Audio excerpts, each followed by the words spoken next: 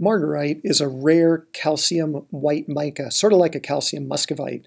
There's a clump of margarite in the center of this field of view. It has moderately high relief and is clear, no pleochroism. When you cross the polars, it's the yellow to orangey red interference color grains. Uh, they're much lower interference colors than the muscovite that's also in this sample.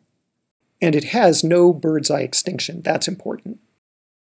This is a single grain of margarite near the center of the field of view. There's some other grains in there too, but there's quite a lot of low relief muscovite in this sample as well as the biotite. So when I cross the polars, you're going to see a lot of um, high interference color, really bright crystals uh, around in the matrix, and that's the muscovite to some degree, the biotite as well. Quite different from the yellowy white margarite.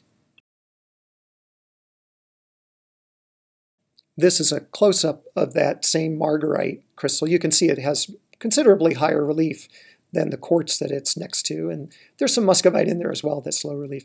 I confess I'm kind of partial to margarite because I worked on margarite-bearing rocks when I was a graduate student.